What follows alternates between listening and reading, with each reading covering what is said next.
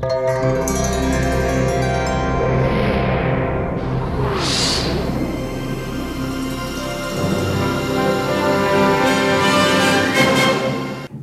und guten Abend. Willkommen beim Fahrreport mit Berichten aus der Fahr, dem besonderen Stadtteil in Bremen. Die bunte Fahr, eine Freude für Bewohner. Die Themen. Quartierswerkstatt Bildung Fahr, zweites Treffen. Bericht von der kurzen Beiratssitzung im März. Schüler der KSA debattieren mit Professor Dr. Ulrich Brandt aus Wien. Kreativ Space Container Fahr stellt sich vor und sucht Ideen. Kurzbericht vom Quartiersforum im März, Kinderflohmarkt im Bürgerzentrum, Frühlingsfest im Treffpunkt Waschhaus. Dieses Mal startet die Quartierswerkstatt Bildung mit verschiedenen Impulsen von der Stiftung für Bildung sowie der Behörde für Bildung. Gemeinsam mit der GEWOBA und dem VHW Bundesverband Berlin gab es die zweite Quartierswerkstatt Bildung Fahr. Vertieft werden sollten Perspektiven und Ansätze zur Weiterentwicklung der Bildungslandschaft in der Fahr. Den Bericht von der ersten Werkstatt finden Sie auf fahrreport.de und Suchwort Quartierswerkstatt. Die Veranstaltung startet mit verschiedenen Impulsen von den Stiftungen für Bildung sowie der Behörde für Bildung. Sabine Süß, Leitung Koordinierungsstelle Netzwerk Stiftungen und Bildung Berlin, begann mit dem Impulsvortrag Gelingensfaktoren von Bildungslandschaften. Es folgten eine Podiumsdiskussion und anschließend vier Themengruppen. Zum Abschluss stellten die Gruppen jeweils ihre Ergebnisse vor. Einige kurze Ausschnitte. Worum es heute geht. Ähm, wir waren nämlich im Oktober bereits schon einmal hier und äh, sprachen damals über Möglichkeiten und mögliche Konzepte von Bildungslandschaften. Ähm, und da haben wir eben mal geguckt, was eigentlich, ähm, was eigentlich schon da ist und ähm, wo es eigentlich auch noch hingehen kann. Ähm, war eine spannende Veranstaltung. Verschiedene Konzepte wurden da vorgestellt, diskutiert, verschiedene Perspektiven. Ähm, ganz, ganz viele Themen sind aufs Tableau gekommen. Ähm, es ging um das Thema kulturelle Bildung, es ging um Sprache, es ging um Sport, es ging auch um äh, digitale Möglichkeiten der Bildung und äh, sind dann im Nachgang mit einigen Akteuren hier aus der FAH nochmal intensiver ins Gespräch gekommen. Dabei ist rausgekommen, dass man an so vier Themen besonders intensiv diskutiert. Das ist auch so äh, die Idee des heutigen Tages. Wir wollen nämlich mit Ihnen über den Bereich Kita und Schule sprechen. Wir wollen mit Ihnen über den Bereich der nonformalen Bildung sprechen, also alles äh, von der Jugendhilfe über Bibliotheken, über die Volkshochschulen, über äh, verschiedene Bildungsprojekte, über den Themenbereich Sport. Ähm, auch nochmal intensiver sprechen. Diese ganzen Themen brauchen natürlich eine gute Grundlage. Ähm, deswegen sprechen wir mit Ihnen auch über Ressourcen, zeitliche Ressourcen, finanzielle Ressourcen, ähm, Person Power, also welche Personen braucht man dafür, das ist ein äh, weiterer Themenbereich. Und dann geht es eben auch nochmal um das Thema Orte. Also wie, wie, ist es eigentlich um die Bildungslandschaft in der Bremer Fahr bestellt und wo können wir die eigentlich gezielt und gut weiterentwickeln? Da haben wir ein kleines Programm zu, zusammengebaut. Heute haben wir halt vor, vier ähm, Verantwortungsgemeinschaften schon mal auf den Weg zu bringen und zu überlegen, naja, was genau können wir denn in der nächsten Zeit hier entwickeln? Und das andere, das ist, wie können eigentlich die guten Angebote, die es im Bereich Sport gibt, die es im Bereich äh, Kultur gibt, wie können die eigentlich an die Eltern äh, an die Schülerinnen und Schüler gut vermittelt werden. Netzwerk Stiftung und Bildung ist ein Zusammenschluss von zivilgesellschaftlichen Akteuren, Stiftungen, Vereine, private Initiativen, GOGs, alle, die im Gemeinnützigkeitsbereich für Bildung etwas machen, und zwar entlang des lebenslangen Lernens. Also jetzt hatte Frau Süß und auch Sie, Herr Beck, Sie hatten ja von Bildungs- und Zivilgesellschaft gesprochen, was ich äh, wirklich noch mal in den letzten Jahren als sehr, sehr entscheidend empfinde, ist, dass wirklich Bildung von Anfang an ein Thema ist. Also, dass wirklich Bildung, wir hatten das kurz im Vorgespräch auch schon gesagt, in der Kita anfängt das ist einerseits eine große Herausforderung, auf der anderen Seite eine unglaubliche Chance, an Eltern zu kommen. Und wenn ich an Eltern komme, dann komme ich auch an jüngere Kinder, an ältere Kinder und kann in die Familie hineinwirken. Und wir erleben es ja, dass die Eltern in erster Linie, je jünger die Kinder sind, desto mehr Vertrauen aufbauen zu den Menschen, mit denen sie zu tun haben, weil sie natürlich auch in der Verantwortung für ihre Kinder äh, eine gewisse Offenheit haben. Und diese Chance muss man nutzen und das ist die ganz, ganz große Chance letztendlich äh, der, der Grundschulen. Und das ist hier die große Schnittmenge. Aber ich darf kein altes, etabliertes Bildungsverständnis haben. Dann komme ich keinen Schritt weiter, sondern ich muss wirklich äh, weit denken und die Kitas bezeichnen sich als Kinder- und Familienzentren. Die Schulen sollten sich eigentlich entsprechend auch so bezeichnen oder es jedenfalls so begreifen. Das hat aber auch die ganz große Herausforderung, dass man in unglaublich viel Vorleistung gehen muss. Da will ich jetzt aber nicht näher darauf eingehen, weil das wäre etwas, was einerseits total spannend ist, aber auf der anderen Seite auch Möglichkeiten und Grenzen aufzeichnen. Wie ist es überhaupt mit den Erwachsenen, insbesondere dann aus, aus schulischer Sicht mit den Eltern, die das sind? Äh, wie, wie äh, können wir die erreichen? Erreichen wir die überhaupt? Ähm, was sind Faktoren, um sie erreichen zu können? Und haben dann plötzlich festgestellt, dass alle Einrichtungen gerne, die, die irgendwas mit, mit, äh, mit Kindern und Jugendlichen machen, dass die, dass die große Probleme haben, an die Erwachsenen ranzukommen. Bei dieser Beiratssitzung haben wir mal nur schöne Themen, so Ortsamtsleiter Ralf Möller. Die Tagesordnung war ungewohnt kurz, der offizielle Teil ging schnell. Ein Anwohner der August-Bebel-Allee beklagte, dass er recht viele Strafzettel bekomme, weil er, wie andere Bewohner, im Bereich der Bushaltestelle parken würde. Andere Parkmöglichkeiten in der Nähe der Wohnung gebe es nicht. Er möchte, dass die BASG-Busfahrer so führen, dass das Parken möglich bliebe. Bernd Siegel antwortet, dass es eine der am meisten zugeparkten Haltestellen sei. Behinderte hätten Probleme auszusteigen. Die Parkmöglichkeiten seien schwierig, aber nicht zu ändern. Herr Simon erinnerte an die Vorschriften und sagte dazu, entweder suche er sich einen genehmigten Parkplatz oder er bezahle die Strafzettel. Ralf Möller kündigt eine Sanierung der Fernwärmetrasse Ost an. Von 2024 bis 2029 soll die Fernwärmetrasse vom Heizwerk Fahr bis zum Heizkraftwerk Hastedt erneuert werden. Ein 10 Meter breiter Arbeitsraum sei erforderlich. Weitere Informationen sollen später folgen. Dirk Stöver stellte zwei Projekte vor. Die Fahrer Löwen beantragen für bewegt durch das Jahr 2023 und für den Löwenpokal 5100 Euro. Spiellandschaft Stadt e.V. beantragt für bespielbare neue Fahr Nord 2023 bis 2024 3.485 Euro. Beide Anträge wurden wohlwollend zur Kenntnis genommen. Als nächstes berichtet Uwe Käsebier über das Vitalbad. Er beginnt mit den Problemen der Verzögerungen mit unterschiedlichen Gründen. Was wurde in den drei Jahren gemacht? Wenn wir dann angucken, dass wir von dem halben Jahr, das wir an Umbau und Sanierung festgelegt haben, knappe zwei Monate nur drüber lagen, ist es natürlich im äh, Gefühl der ganzen drei Jahre eine lange Zeit, aber für die reine Bauzeit eigentlich ein schnelles Vorankommen gewesen. Was haben wir jetzt gemacht? Äh, in dem Bad, ähm, was Sie jetzt vorne sehen, Sie ja an der unteren Ecke die neuen Fliesen.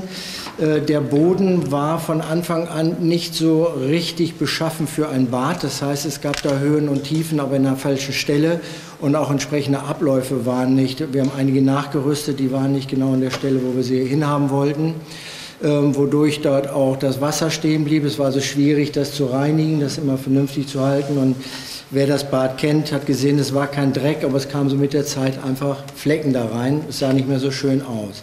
Dazu wurden, wie gesagt, die gesamten, die ganze Fliesenfläche im, das ist das Erlebnisbecken und im Sohlebeckenbereich komplett und auch in der Empore, wo das Planschbecken ist, komplett abgenommen. Ein Teil der Seitenfliesen der Becken und auch die an den Wänden waren dann einige Fliesen auch ähm, überholungsbedürftig. Und man kann das hier so ein bisschen erkennen. Wir haben ein neues Muster da drin. Da war ja früher auch die, die Kunstbeleuchtung, die abgängig war. Das hat alles Löcher geschaffen. Das musste jetzt äh, neu gemacht werden. Ich komme da gleich nochmal drauf zurück. Ähm, dann ist also der ganze Boden, man konnte da jetzt auch nicht, muss man sich vorstellen, das ist alles sehr knapp. Man braucht da einen Ablauf. Da kann man nicht meterweit oben anfangen und tief runtergehen. Das war Millimeterarbeit, um dann eine wirklich vernünftige ähm, Absenkung dort zu schaffen. Dann ist das eigentliche Projekt, äh, nämlich die Decke, erneuert. Äh, zur Erklärung, da waren vorher, das hat man früher so gemacht, zur Dämmung und zur Feuchtigaufnahme so Puffer aufgebaut, die auch nicht unbedingt mehr den heutigen sozusagen Gesundheitszustand entsprechen. Ähm, die wurden alle abgeschafft, die Decke wurde neu abgehängt und wir haben eine, eine ganz neue Decke dort eingerichtet und bei der Gelegenheit auch die gesamte Elektronik, ähm, Lautsprecheranlage und vor allem auch ein neues Beleuchtungskonzept eingebaut und das Ganze auch den neuen oder inzwischen sich weiterentwickelnden äh, Regelungen der Brandschutzordnung und so weiter angepasst.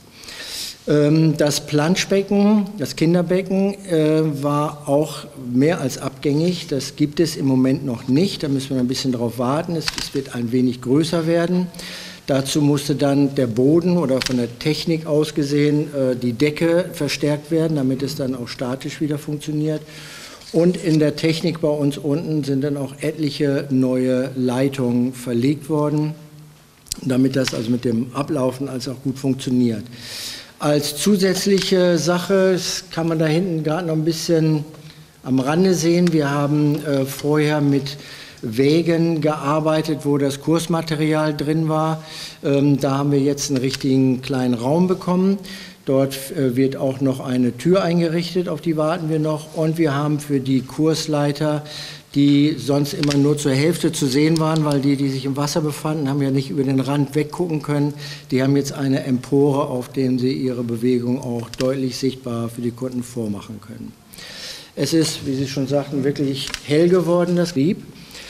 Ja, wir haben versucht, so schnell wie möglich ranzugehen. Wir sind mit den Kursen schon Anfang des Jahres wieder Stück für Stück in Betrieb gegangen. Das konnte man handeln, weil wir dann auch nur kleine Gruppen und immer zu ganz speziellen einplabaren Zeiten durchs Becken schleusen müssen. Das ist in der Öffentlichkeit ja nicht ganz so. Und haben es dann jetzt am 24. Februar dann auch geschafft, auch wenn noch nicht alles so perfekt ist, haben gesagt, wir wollen nicht lange warten. Sie haben auch lange gewartet, so das haben wir auch für die Öffentlichkeit wieder geöffnet. Geändert hat sich, wir haben an, drei Ta an vier Tagen von sieben Tagen für die Öffentlichkeit geöffnet. Wir hatten es vorher so ein bisschen Kuddelmuddel hin und her.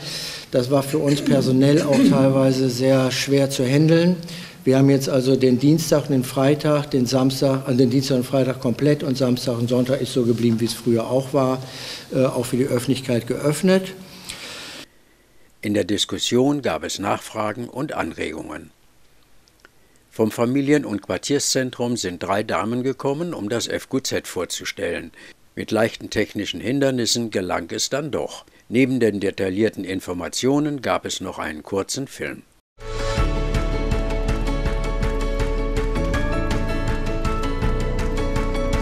Ja, hallo, ich bin Sabine Fiebrock und ich leite hier im Haus den offenen Elterntreff. Und das macht mir sehr viel Spaß, weil ich hier über die Jahre sehr viele neue Leute kennengelernt habe aus den unterschiedlichsten Nationalitäten, auch viel Neues gelernt habe und auch sehe, dass hier Freundschaften entstehen und das ja, macht mir richtig Spaß, das zu begleiten.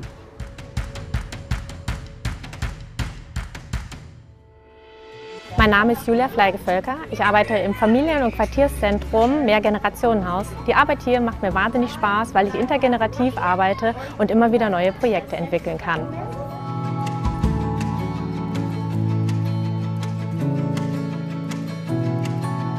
Christoph Buße, ich bin hier als Vertreter der evangelischen Kirchengemeinde, Träger mit im Haus und wir freuen uns über die vielen praktischen Hilfen, die hier die Bewohner im Stadtteil bekommen und die Beratung und die Treffpunkte.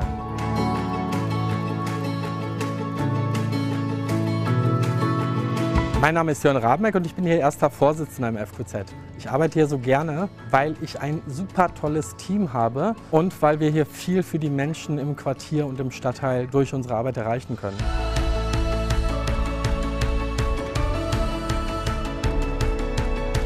Ja moin, ich heiße Silke Frei, ich bin hier die Haus- und Projektkoordinatorin vom FQZ MGH. Ich arbeite total gerne hier, weil ich es toll finde, dass wir so viele Angebote haben, wirklich von 0 bis 99 Jahren. Eins meiner Lieblingsangebote ist das Upcycling-Angebot für Kinder. Ich finde es auch super, dass wir so viele Feste veranstalten.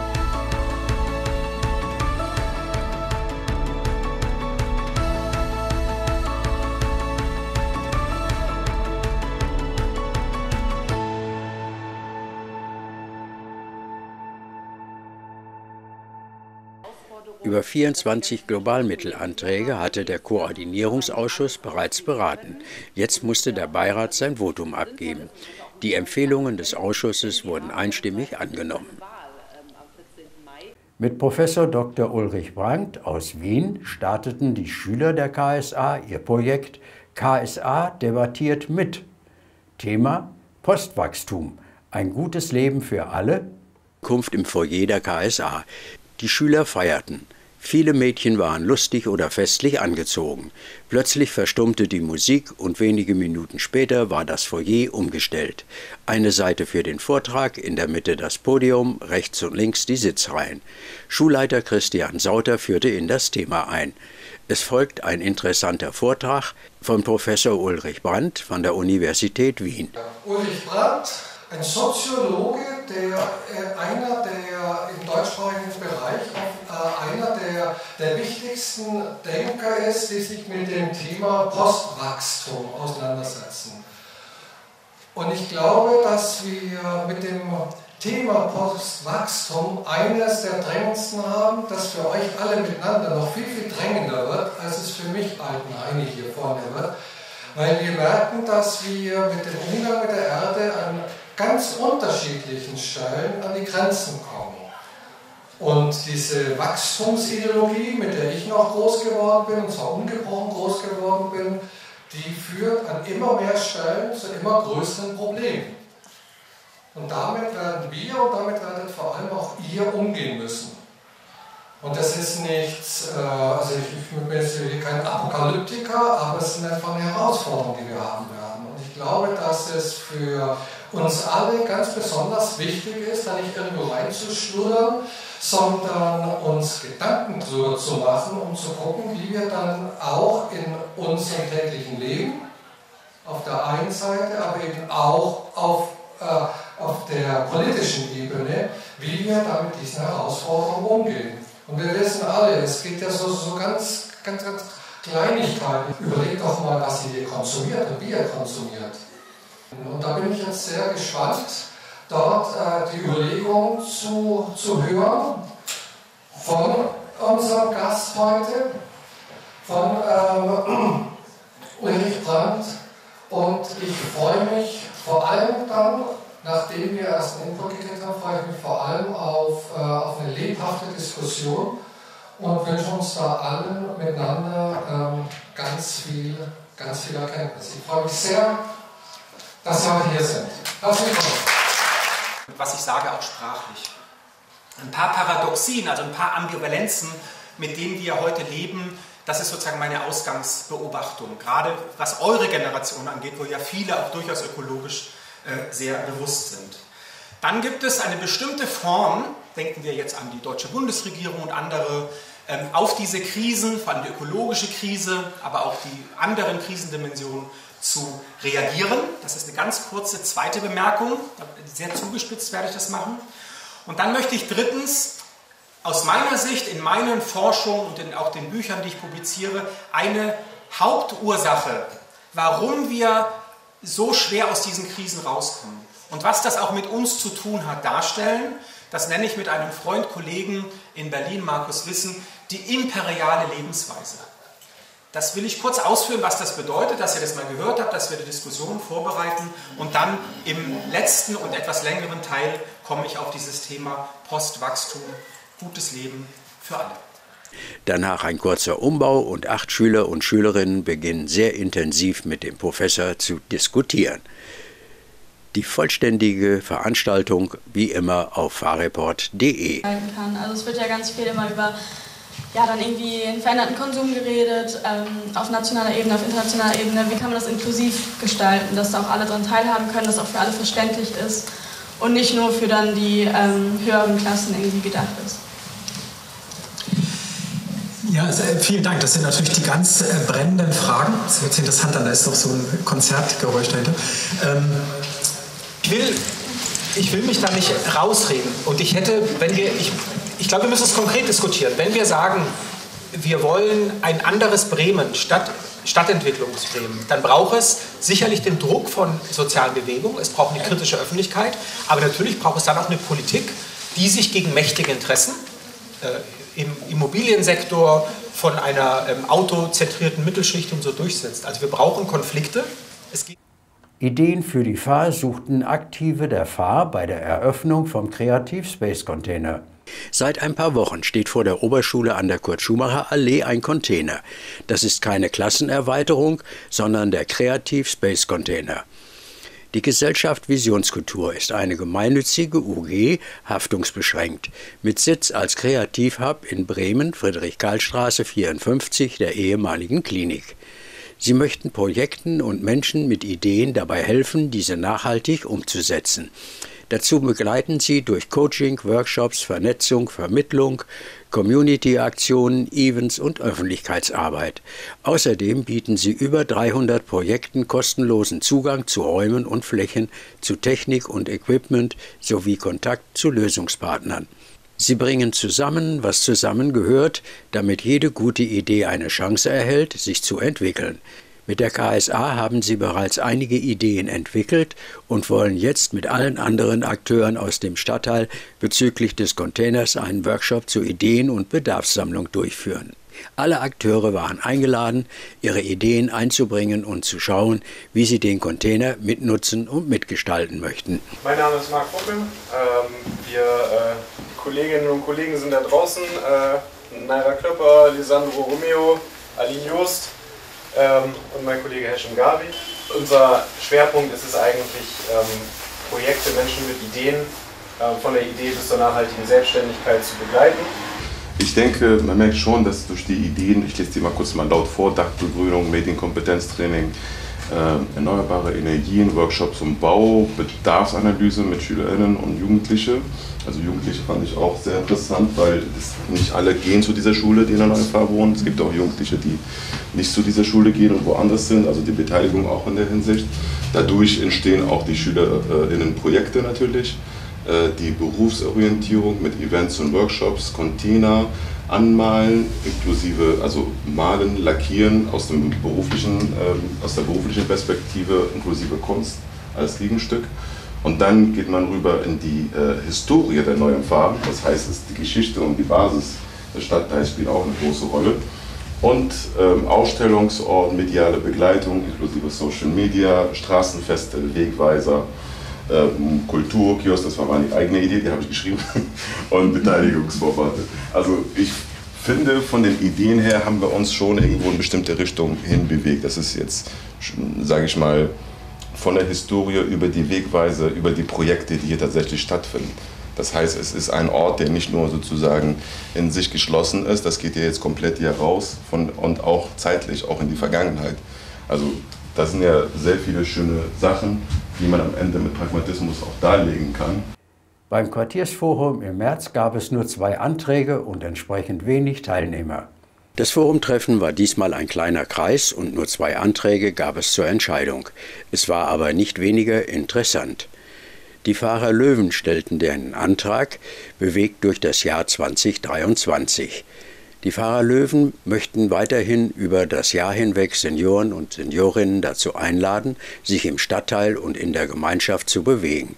Dazu möchten sie an verschiedenen Orten, zum Beispiel im Löwentreff, im Familien- und Quartierszentrum, im Bürgerzentrum, regelmäßig Sport- und Bewegungsangebote wie Sitzgymnastik, Yoga und Tanz anbieten. Dafür möchten sie 5100 Euro haben, was auch genehmigt wurde. Spiellandschaft Stadt möchte wieder für bespielbare neue Fahrt Nord 2023-24 3.485 Euro haben.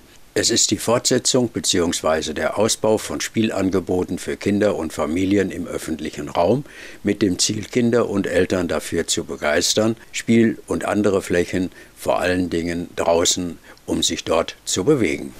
Auch diese Förderung wurde bewilligt die Gelegenheit, Platz für Neues zu schaffen und auf Schnäppchenjagd zu gehen. Die vielen unerlaubt parkenden Autos auf dem Marktplatz waren ein Zeichen für reichlich Flohmarktanbieter. Wer nach der dunklen Jahreszeit oder beim jährlichen Frühjahrsputz schon ganz viel aussortiert hat, um Platz für Neues zu schaffen, kann diese Dinge einfach beim Kinderflohmarkt rund ums Kind im Bürgerzentrum Neue Fahr verkaufen. Von Krabbeldecke über Strampler bis zum Kinderwagen. Hier können Familien, Eltern und solche, die es werden wollen, nach Herzenslust stöbern, kaufen und selbst verkaufen. Stand für Stand wechseln Babyausstattung, Kinderkleider und Spielzeug so ihre Besitzer. Wenn der Treffpunkt Waschhaus zur Feier ruft, dann sind volle Tische garantiert. Also sozial, sozial. Ihr habt die Sachen alle selber gemacht? Mhm. Ja. Von welcher Schule seid ihr? Roland zu Bremen. Roland zu Bremen Oberschule. Und das macht ihr im Werkunterricht oder äh, speziell jetzt zum Verkauf? Nein, machen wir im Werkunterricht. Ich möchte gerne was kaufen. Was könnt ihr mir denn empfehlen? Alles. Wir nehmen alles her.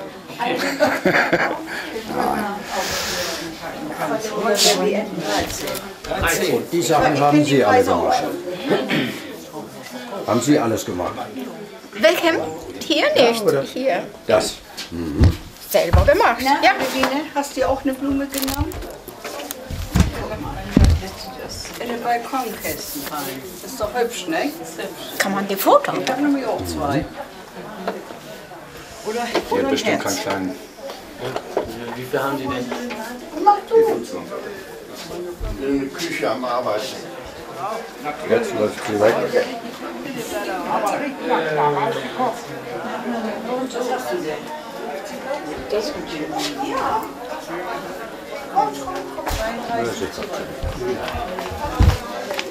Das sind alles Ihre Werke. Ja, Wie ist die Decke entstanden? diese, diese Decke, ich, ich habe geschenkt für die, ein Tombola oder so für Waschhaus. Eine Spende. Eine Spende. Aber wie ist die gemacht? Gestickt? Das ist Hackel. Das ist Hackel. Ich habe drei Monate gearbeitet. Was habt ihr denn heute schon alles gemacht? Ja, wir sind um 12 Uhr angefangen mit Bratwurst, äh, Bratwurst grillen, normale Bratwurst, da auch äh, für äh, Geflügelbratwurst für Moslems. Wir haben ja auch moslemische Mitglieder bei uns. Äh, dazu hatten wir hier den ganzen Tisch voll stehen verschiedene Salate als Beilagen dazu. Und jetzt war ein bisschen Unterhaltungsprogramm und wollen dann mit äh, selbstgemachten, alles äh, selbstgemachte, gespendete Kuchen, Torten geht es dann weiter in die nächste Runde.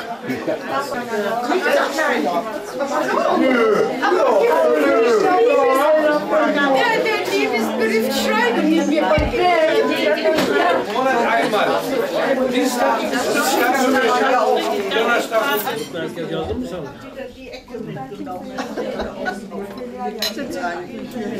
mir bei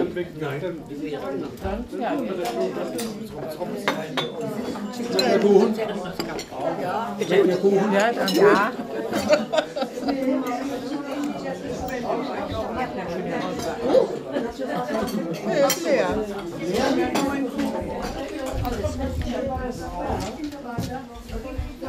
Könnt ihr euch nicht hinsetzen und ein Stück Kuchen essen und eine Tasse Kaffee trinken? Einen Moment.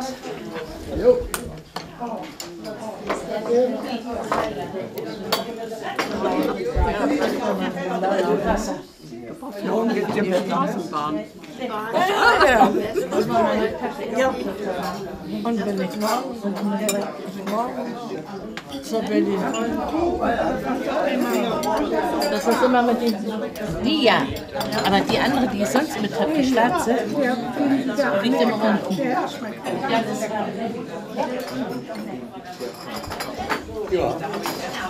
Der Fahrreport ist Informationssystem im Fernsehen und im Internet für und über die Fahr.